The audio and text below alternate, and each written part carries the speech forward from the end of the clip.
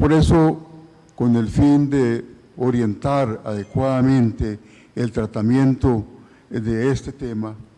eh, acordamos que se integre una, una eh, comisión, digámoslo, o un grupo de trabajo.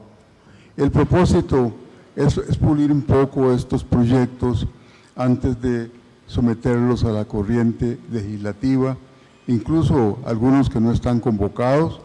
para que puedan, eh, para que se tenga, digamos, eh, una claridad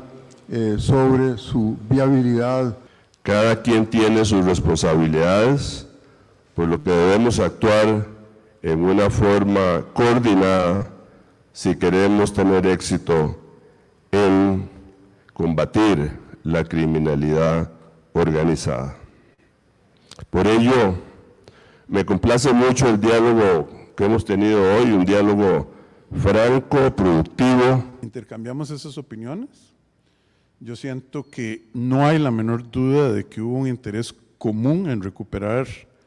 eh, en darle a los costarricenses la tranquilidad y ahora, eh, de aquí al final de enero del año 2024, el Poder Ejecutivo controla la agenda de discusión del Legislativo. Entonces, cuando esos grupos se pongan a trabajar,